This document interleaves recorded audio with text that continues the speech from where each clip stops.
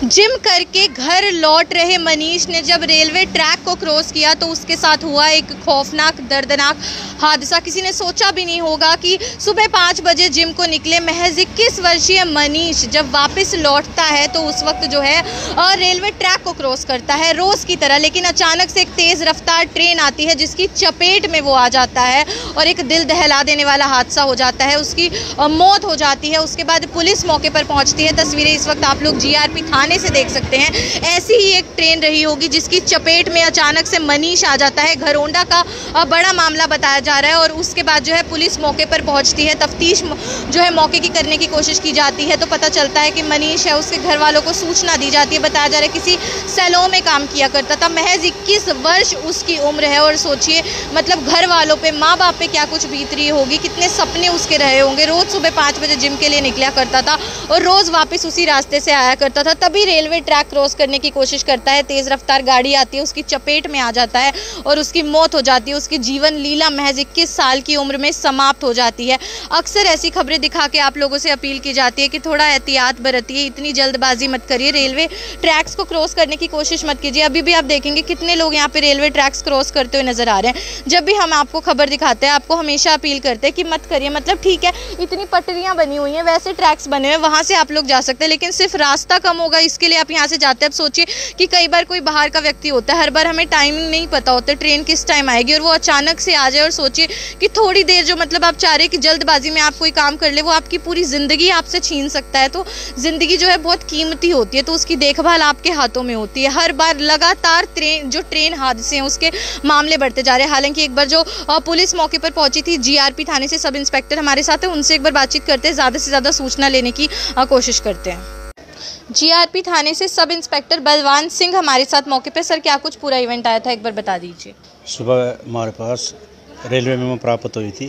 Kilometre number एक सौ सोलह पर एक डेड बॉडी पड़ी है, जिसकी सूचना पर मौके पर पहुँचे।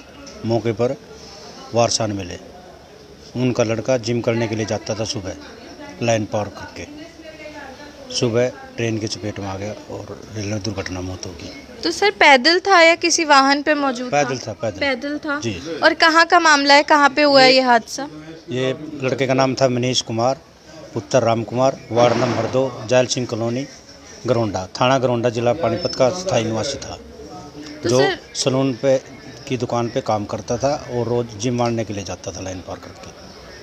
तो सर मतलब किस तरीके से हुआ कि पता नहीं था उसको अचानक से ऐसे कैसे? मतलब रोज ही ऐसे रेलवे ट्रैक क्रॉस किया करता था वो? रोज होता है इतफाक से हो गया गाड़ी का ध्यान नहीं रहा और चपेट में आ गया गाड़ी में। एक सौ चौहत्तर की सी आर पी सी कार्रवाई अमल में लाएगी और पोस्ट पोस्टमार्टम करा के लाश वारसन वाले की गई। सर कुछ अपील करेंगे? आए दिन इस तरीके के हादसे बढ़ते जा रहे हैं जहाँ ट्रेन की चपेट में आने से जो है नौजवान युवक जो हैं कितनी मौत हो जाती है इस तरीके से? पुलिस तो हम बार बार भी अपील करते हैं और या अनाउंसमेंट कराते हैं भी कोई भी व्यक्ति लाइन पार ना करे और पुल का प्रयोग करे। बार बार अनाउंसमेंट करते हैं और समझाते भी हैं भी लोन क्रॉस लाइन क्रॉस ना करो ये दुर्घटना हो सकती है। बिल्कुल, आप लोग सुन सकते हैं किस तरीके से 21 साल का मनीष जो कि घरोंडा का रहने वाला है, रोज़ की तरह पाँच बजे सुबह जिम के लिए निकल जाया करता था, पैदल था और किस तरीके से रोज़ ही उनके घर वालों का कहना है कि रेलवे ट्रैक क्रॉस करके पैदल निकला करता था और उसी वक्त जो है एकदम से तेज़ रफ्तार ट्रेन आ जाती है, जिसकी चपेट में मनीष आ जाता है और एक दिल दहला देने वाली घटना हो जाती है, उसकी जीवन लीला वहीं पर समाप्त हो जाती है। उसके बाद परिवार मौके पर पहुँचता है, बताया जा रहा है सात बजे के करीब पुलिस को सूचना मिलती है और पुलिस मौके पर पहुँचती है। परिवार को वहाँ पर बुलाया जाता है। अभी फ़िलहाल के लिए शव को पोस्टमार्टम के लिए कल्पना चावला मोर्चरी हाउस में ज़रूर रखवा दिया गया। शव का पोस्टमार्टम होगा, लेकिन अक्सर जब भी ऐसी खबरें दिखाते हैं, लगातार पहली बात तो आप लोगों को ऐसी खबरें दिखाई जाती हैं और हमेशा यही अपील की जाती है कि रेलवे ट्रैक्स को कई बार जल्दबाजी होती है, जिस चक्कर में रेलवे ट्रैक्स को लोग क्रॉस करने की कोशिश करते हैं, जो कि आपकी ज़िंदगी की एक आखिरी गलती भी हो सकता है। अक्सर अपील की जाती है कि